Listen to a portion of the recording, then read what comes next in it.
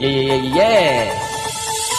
蚌埠有个徽州宴，遛狗吓人还不算，全网视频都刷遍。小伙，我给你念一念：女老板和她的狗，狗扑一个小朋友，吓得小孩浑身抖。为了这事出大丑，家长一看这场面，要求对方道个歉。老板一听把话言：小孩没我狗值钱，谁要敢动我的狗，小孩使我手。几天忘我大把油，有钱有势狂张头，小腰一插头直摇，龇牙咧嘴就是好，丢人不把好日瞧。众多网友被惹毛，养的宠物比人强，胜过人家小儿郎。天狂以后必有雨，人狂如你天自离。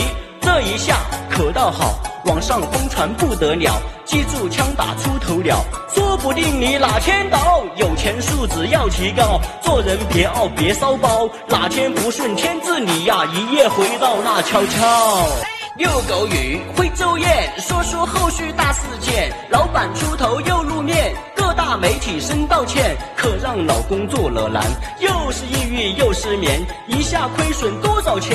预定宴席全退完，这是家人挺着急，冒出个外孙来解谜，外孙直播来话题，想尽一切护二姨，挺珍贵这条狗，七十万才买到手，要怪二姨太富有，这话真能说出口，家人越描越真黑，不停补刀把怨给我家二姨就有钱，仇富心里个个有，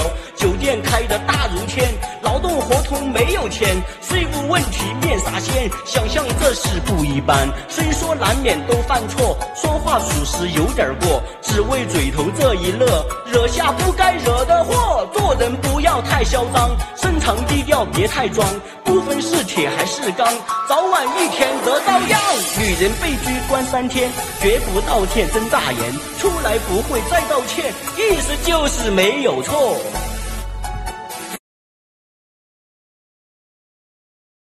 好。